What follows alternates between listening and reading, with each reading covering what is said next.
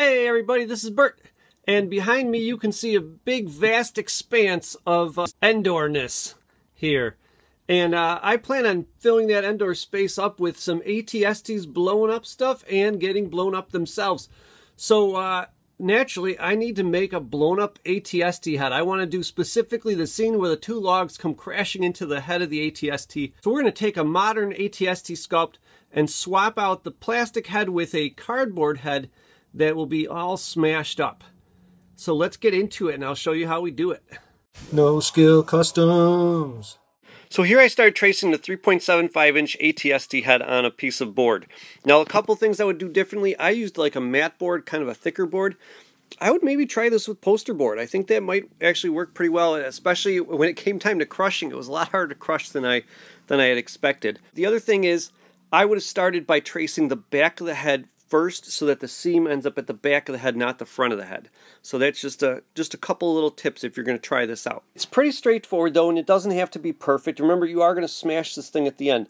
But ultimately, I just set it on there, trace the outline as closely as I can, and then uh, rotate it, trying to have the edge of, of one tracing match up with the edge of the next tracing. Here I've cut out the little template that I made and I started scoring at each of the seams so that uh, I could you know, begin folding it and making the, the general head shape.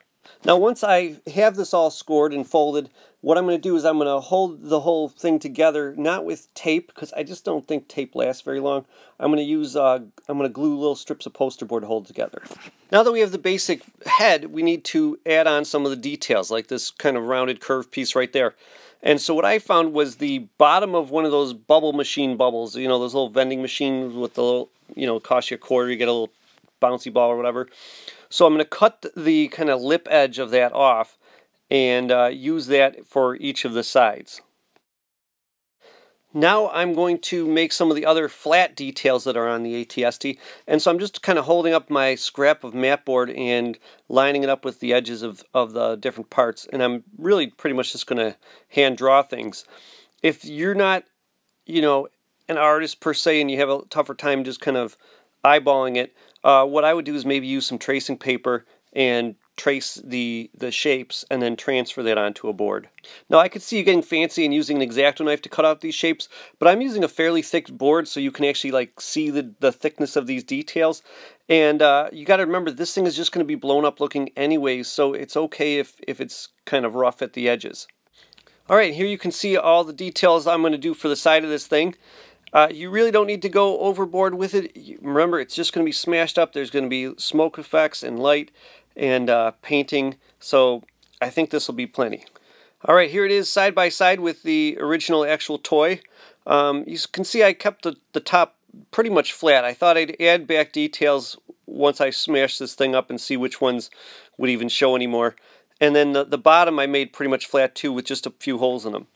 On the sides, I poked holes through the cardboard and into the plastic, and I'm actually using the the real actual guns. I thought rather than having to sculpt all that stuff, I would just reuse the the real guns. And here it is. Now, one thing, um, I, you know how I said I put the holes in to, to put the the body together, which you're seeing right here.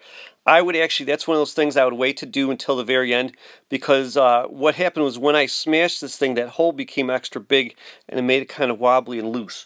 So even though it's fitting on really nicely here, it was a little too loose.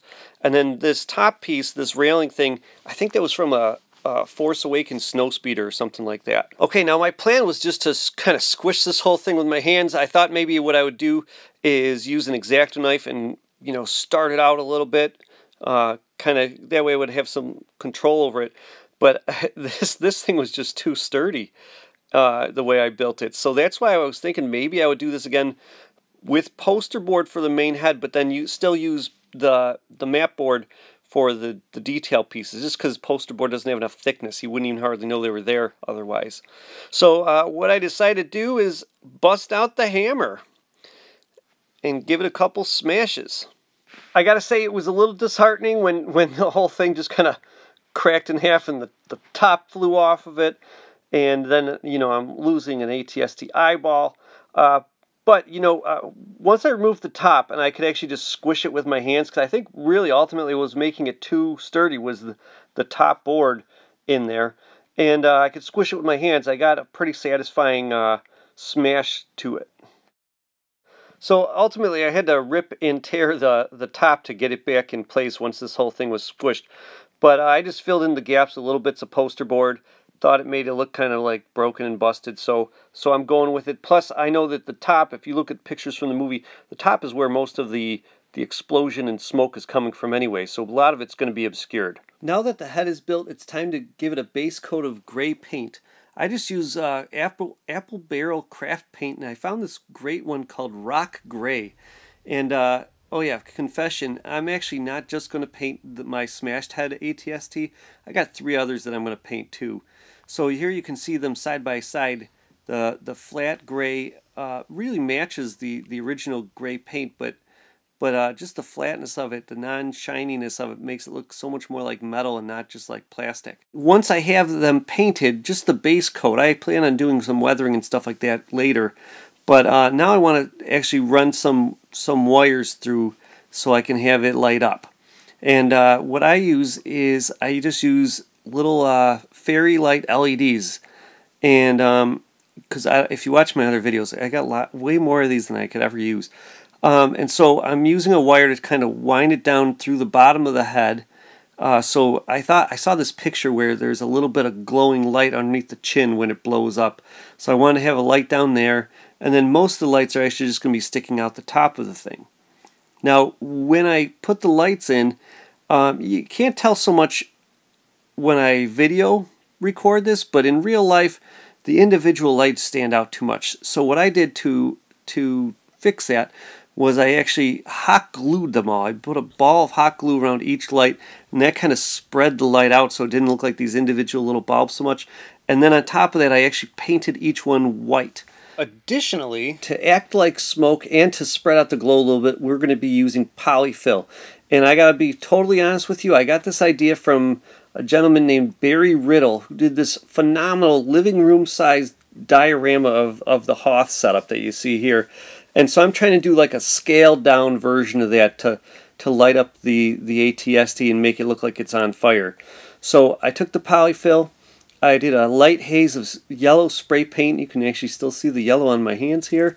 And uh, then I did a, a light coat of orange and red and then another light coat of black on some of the white stuff at the top. And uh, that's that's how I got this. It takes a lot of experimenting to get it right he's got a whole system, uh, if you go and look it up, um, to do just absolutely huge, enormous explosions. But this is like a little small thing. So um, I found my, my trick worked pretty well for this. Then uh, once I have that settled, it's time to actually begin weathering the ATSTs. So what I did was I just kind of painted a wash of a darker gray, a pewter gray color, also by Apple Barrel. But uh, there's all sorts of different brands that have similar quality paints. And uh, I basically, I dipped my brush in the paint, I dipped my brush in the water, painted it on there, and then when I overdid it, I would just wipe it off. I made sure to put, uh, you know, I wanted lots of dark gray in, in the cracks and crevices, but I didn't want it to be too perfect. I also wanted to put the dark gray at places where the, the ATST had gotten scrunched and beat up and dented. I also added black in areas to make them look extra dark, and I added a little bit of nutmeg brown to make a couple little spots here and there look rusty. I also painted the tips of the guns black. I thought that made them look more like real guns and not like plastic toys. Weathering is my favorite part of any project. I just love making things look beat up and dusty and dirty and scuzzy. So uh, I really enjoy this, but if, if you're not too sure about it, try it on some toy that, you know, maybe like a, a shell of a old vintage Y-Wing that's all busted up or something like that.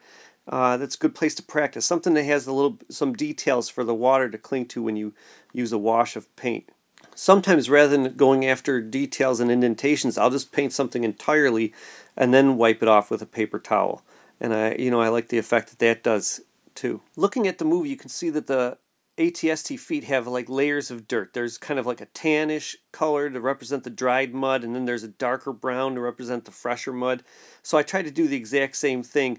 I did the tan first, and then I did the brown over top, but I way overdid the brown, and I was a little unhappy with it, so I had to just wipe it with water first, because dry taking a dry paper towel was not getting enough off. So I watered it down and uh, it left just just enough brown in the cracks and, and crevices that I thought it was actually pretty cool. So I was pretty happy with that in the end. After that, I just layered on a little, bit of green to make it look grass stained and uh, some flakes of leaves that I had left over from my Endor bunker setup, which I just kind of glued on there. All right, let's check out the finished product.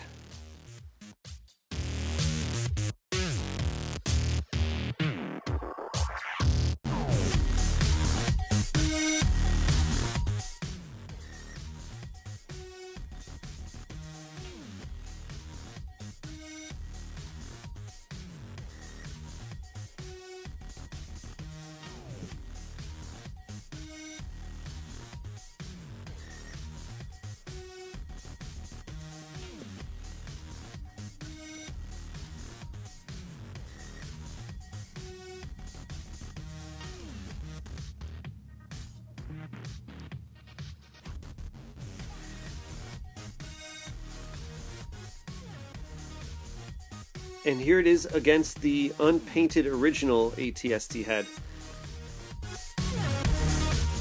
And here it is in place on my Endor setup. Now I know that there was a Target battle pack back in the day that had some logs with it, but I wasn't really happy with the sculpt of those. So I went for what I think is a more realistic log that came with the with the uh, Robin Hood and also the Ewok battle wagon. Uh, I found two uh, broken Robin Hood battle wagons one time at a garage sale. So I bought them, not really knowing what I was going to do with them. And so I used those logs. I had to patch a couple holes and I had to make the end a little pointier using some uh, air dry clay, but uh, painted it up and tied it with some twine. I know you really came here to see my smashed ATST, but I thought I'd show off some of the other ones since I painted them all at the same time. And uh, you can see some of the details are just uh, there because I used a, the wash of dark gray like I was talking about earlier. But I did every once in a while paint some specific little markings to match uh, the models that were used in the movie. Speaking of models, I uh, painted an old Ertl model kit from when I was a kid, probably 1996 or something like that. Uh, I had once painted it a long time ago, but I went for more of a blue gray. So this time I painted it the uh, the same rock gray so it matched all the rest of my ATSTs. Here you can see how small it is compared to the ATST. I'm planning for some sort of a forced perspective thing with it being in the background looking like it's especially far away. Well, I hope you enjoyed this episode of No Skill Customs. I'm not done with my Endor scene yet though. After, now that I've finished all these ATSTs, I gotta load up this scene with tons of foliage, Imperials, Ewoks, and Rebels. So like and subscribe and you'll find out when I finish up my Endor scene for real.